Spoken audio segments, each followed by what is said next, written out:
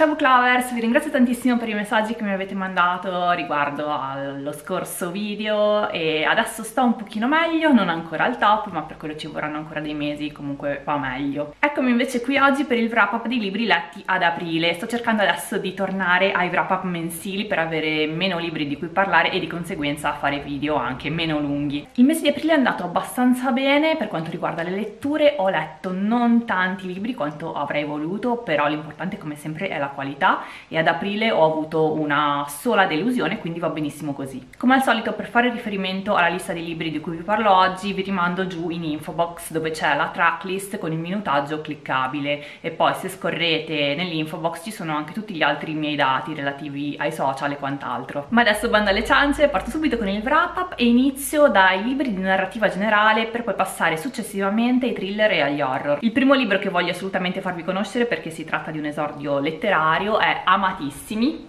di Cara Wall, edito Fazzi. Il pregio più grande di questo romanzo è il suo stile di scrittura, è il primo romanzo dell'autrice, ma lo stile di scrittura è davvero impressionante, tanto maturo che non ha davvero nulla da invidiare ad autori già famosi e talentuosi e anzi in alcuni casi devo dire che la scrittura supera alcuni grandi autori. Ovviamente nel caso dell'edizione italiana qui un plauso va anche all'ottima traduzione che ha avuto una resa splendida. È un romanzo americano di vita vera, una realistic fiction che abbraccia il periodo degli anni 50, 60 e 70 e che narra la vita di quattro personaggi legati poi tra loro da vari eventi, dall'amore e dall'amicizia, andando a toccare varie tematiche come la vita di coppia, la fede religiosa e le divergenze caratteriali. È un romanzo di sentimenti, di famiglia, una storia tranquilla tranquilla di vita vera, di stampo tradizionale, dove vi sono famiglie tradizionali composte da persone con pregi e con difetti e dove si dibatte molto sulla religione e sulla fede religiosa. E questa è una caratteristica un po' insolita per me, o meglio, io non sono solita leggere storie dove la religione è una tematica così predominante, così centrale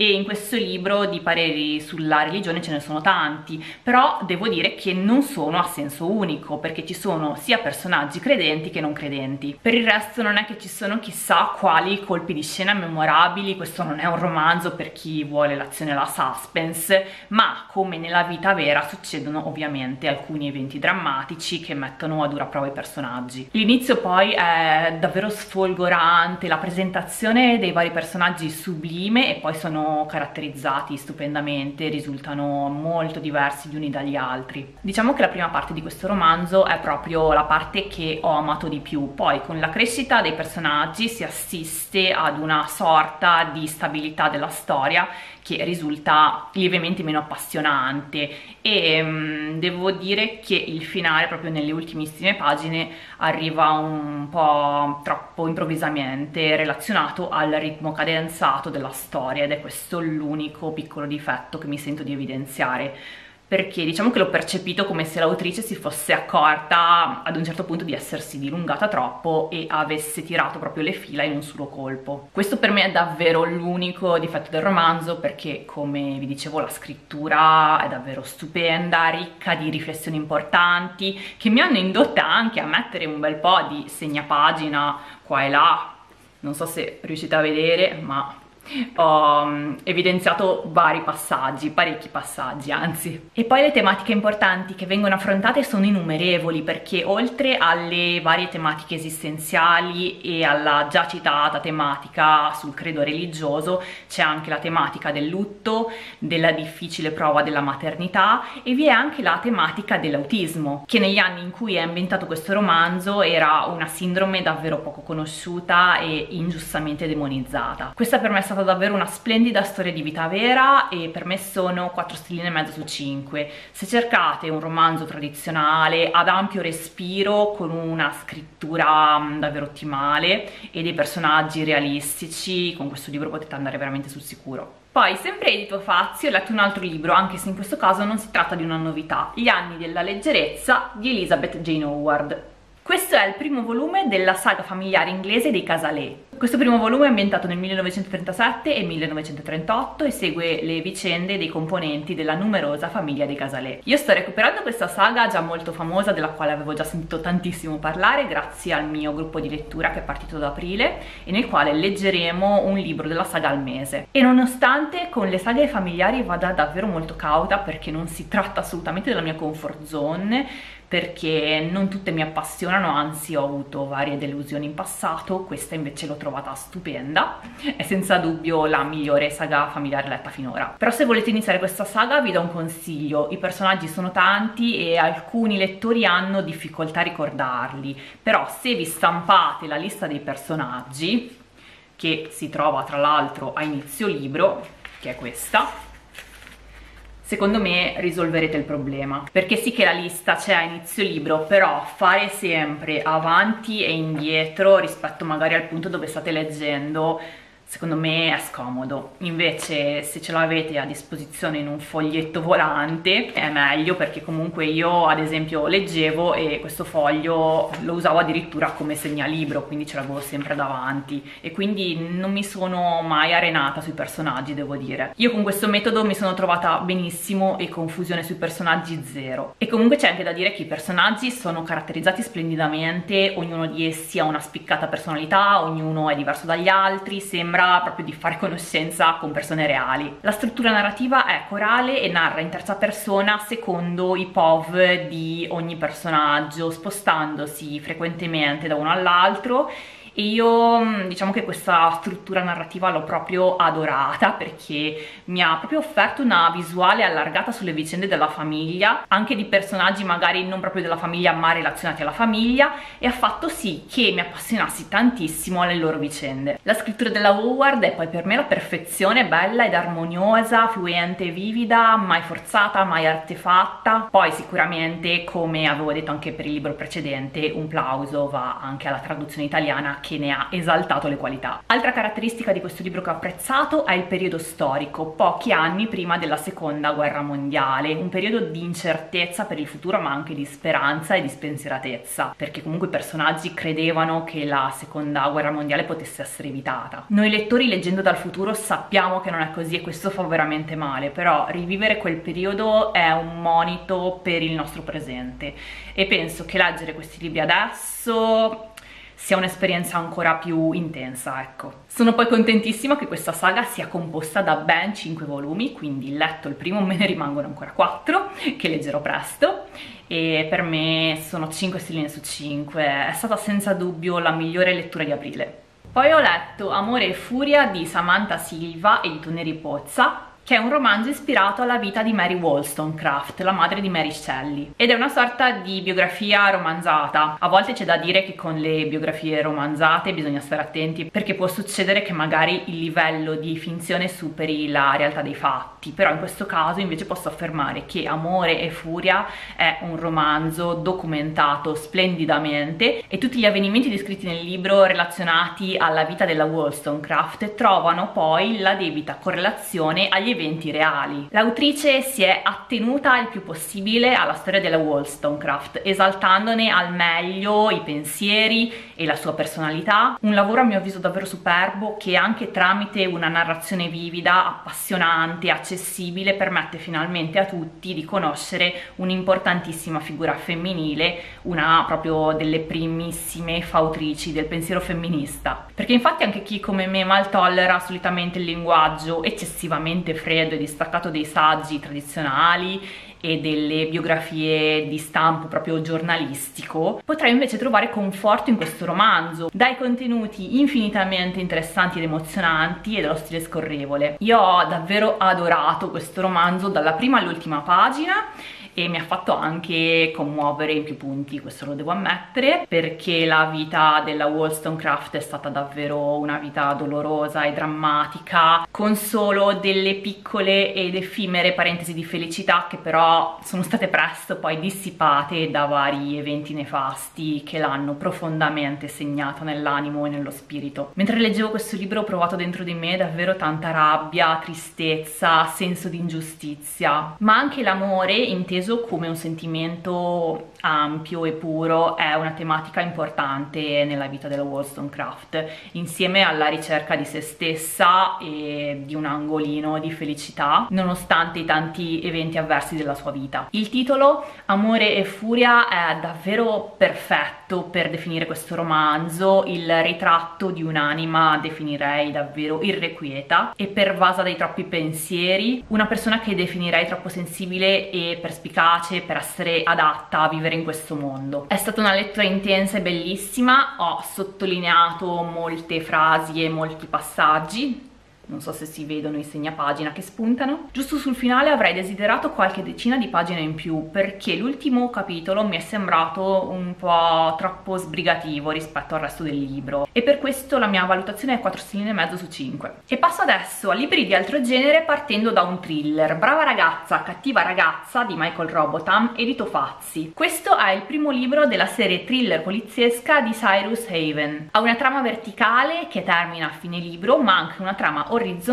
che immagino continuerà nei libri successivi e che riguarda i due protagonisti del romanzo. E i due protagonisti sono uno psicologo, Cyrus Haven appunto, che collabora con la polizia e poi c'è anche una ragazza dal passato traumatico della quale non sappiamo neanche il vero nome. A causa di varie vicende i due avranno un punto di congiunzione nelle loro vite e la ragazza aiuterà in qualche modo lo psicologo nell'indagine dell'omicidio di una giovane adolescente, una talentuosissima promessa del pattinaggio pattinaggio sul ghiaccio che oltre ad essere una ragazza modello era anche molto ben voluta, molto amata da tutti. L'inizio di questo libro è stato davvero intrigante, la storia mi ha presa subito, i personaggi principali sono entrambi carismatici ed entrambi hanno peculiarità che ho apprezzato. L'unico tra virgolette difetto è che la prima metà del libro è molto statica e introduttiva, forse perché essendo il primo libro di una serie c'era proprio bisogno di soffermarsi maggiormente sui personaggi che hanno entrambi un background notevole. Però c'è da dire che il ritmo narrativo rimane sempre molto dinamico e scorrevole anche nei momenti più statici della storia e così non è affatto faticoso proseguire con la lettura, anzi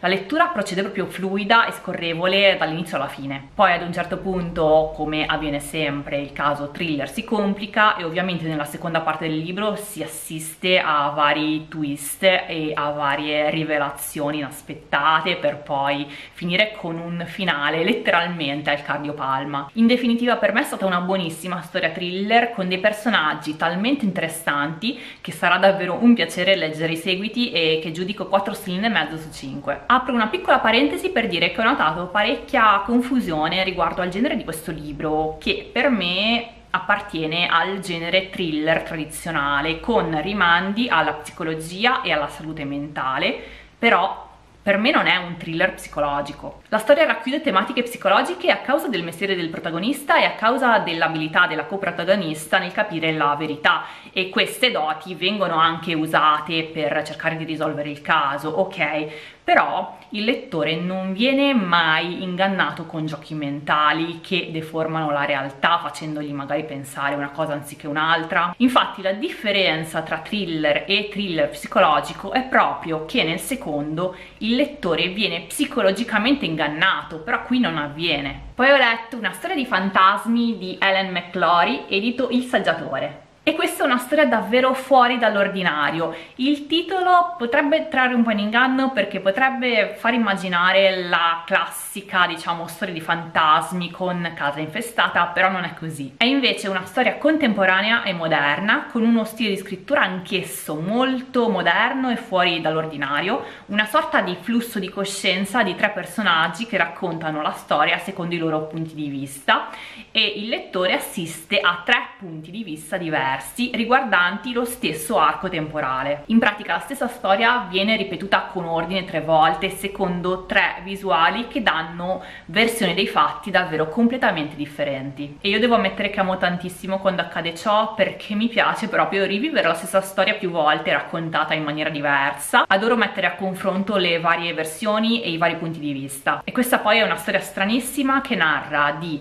tre conquilini, una prodigiosa stampante 3D e un vecchio diario risalente al XIX secolo che viene rubato e che passa di mano in mano finché uno dei personaggi, leggendolo e rileggendolo, ne è ossessionato a tal punto che sembra esserne posseduto e fagocitato al suo interno. In realtà non ci sono fantasmi proprio nel vero senso del termine, però il lettore avrà sempre il dubbio strisciante che vi sia qualcosa di sovrannaturale che si sovrappone al reale. È una storia quindi di ossessione, possessione, esperienze extracorporee ed extrasensoriali e una storia del passato che rivive nel presente. Un mix davvero intrigante, però indicato soprattutto a lettori sperimentali che non disdegnano il paranormale ma che non ricercano necessariamente la comfort zone del romanzo tradizionale. E aggiungerei neanche trame semplici e lineari con risposte ben definite. Il mio giudizio è di 4 stelline su 5, mi è piaciuto, mi ha davvero folgorata lo stile dell'autrice, l'unica pecca per me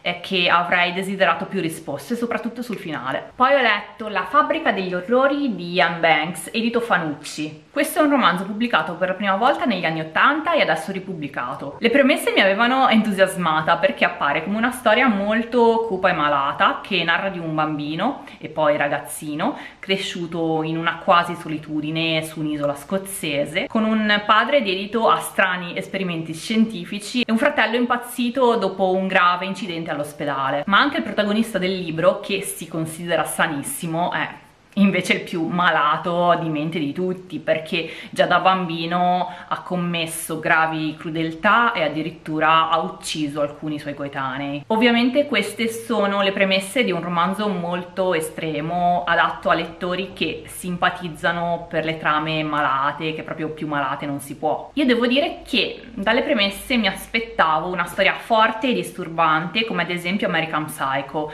che nonostante la tematica malatissima avevo apprezzato parecchio. In realtà invece ho trovato la storia narrata in questo libro molto sopra le righe, però poco credibile. È tutto eccessivamente grottesco e le vicende si susseguono in maniera piuttosto noiosa con uno stile di scrittura piatto che non è riuscito minimamente a scalfirmi dal punto di vista emotivo. Io ho avuto la sensazione di leggere un romanzo figlio del suo tempo e purtroppo invecchiato male, perché si sentono influenze post-belliche mescolate al periodo hippie, viene esaltata una mascolinità tossica e violenta e anche descritti con minuzia di particolari i noiosissimi giochi di guerra a cui il protagonista si dedica quotidianamente. Vi sono digressioni infinite infinite su ordigni bellici, armi, trappole e strumenti di tortura che il protagonista produce da sé grazie ai tanti materiali che recupera sull'isola. Più che la fabbrica degli orrori a me sembrava di leggere la fabbrica delle armi e non mi è stato affatto chiaro come il protagonista riesca ad avere a disposizione tutto quel materiale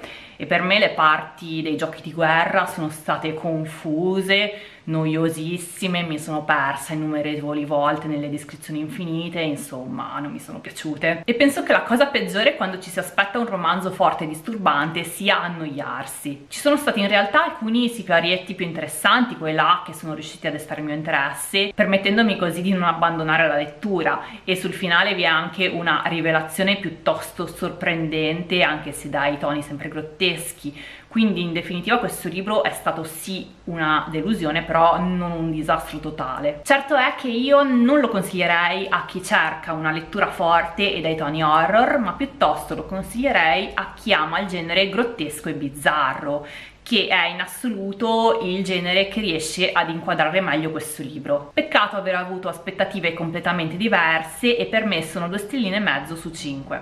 Poi ho letto La casa maledetta e altre cupe storie e Di notte entrambi di Grazia Deledda ed entrambi editi per Caravaggio Editore. Grazia Deledda è un'autrice italiana di origini sarde ed è la prima donna italiana a aver ricevuto il Nobel per la letteratura. Questi due volumi sono stati pubblicati dalla Caravaggio Editore in occasione del 150 anniversario dalla sua nascita e per me è stata un'occasione di conoscere un'autrice che non avevo mai letto. La casa maledetta e altre cupe storie fa parte della collana dei classici ritrovati ed è una raccolta di 10 storie cupe, proprio come da titolo, che mischiano il paranormale alle credenze religiose, alle superstizioni e alle leggende popolari sarde. Sono racconti molto interessanti perché offrono uno spaccato dell'epoca sul territorio sardo, sia dal punto di vista culturale che sociale e in più aggiungono quel tocco di esoterico che non guasta mai. Mi sono piaciuti moltissimo i racconti La leggenda di Casteldoria e il castello di Galtellì perché narrano di due castelli medievali realmente presenti sul territorio sardo e ricchi di storia e leggende a sfondo paranormale. Bellissimo anche il racconto Lo spirito del male, che tra tutti è quello che ho trovato più inquietante, seguito dal racconto che fa da titolo alla raccolta, ovvero La casa maledetta, che narra di una casa su cui pende una maledizione dei precedenti proprietari e ha atmosfere oserei dire degne di Edgar Allan Poe. Di notte è invece una novella e fa parte della collana dei frammenti d'autore ed è una storia sempre a tinte cupe con varie tematiche però concatenate. E vi sono la tematica della vendetta e dell'onore perduto ma anche la tematica del tradimento e anche la tematica dell'innocenza salvifica in grado di pacificare gli animi. E poi ho trovato stupendo che la storia avesse sfumature un po' fiabesche che mi hanno ricordato le atmosfere esotiche delle Mille e una notte una novella davvero molto particolare. 4 stelline su 5 a questa novella e 4 stelline alla raccolta di racconti. Ma giusto perché nella raccolta ci sono stati racconti che mi sono piaciuti di più e altri di meno. Però sono entrambi volumi validissimi per avere un assaggio di questa bravissima e talentuosa autrice italiana. E adesso wrap up terminato i libri che ho letto sono stati questi sono 8 in totale anche se uno era davvero piccolino. E diciamo che nella mia TBR c'erano molti più libri però dai l'importante è avere fatto bellissime letture. L'unica mia delusione è stata la fabbrica degli orrori però altrimenti sono soddisfattissima delle altre letture intraprese. E io spero che ci sentiremo presto spero di fare un altro video di questo tipo tra un mese. E mm, poi sto anche lavorando per fare qualche altro video di qualche altro genere però ancora mm, non lo so. Diciamo che ci sto lavorando poi si vedrà. A presto e alla prossima. Ciao ciao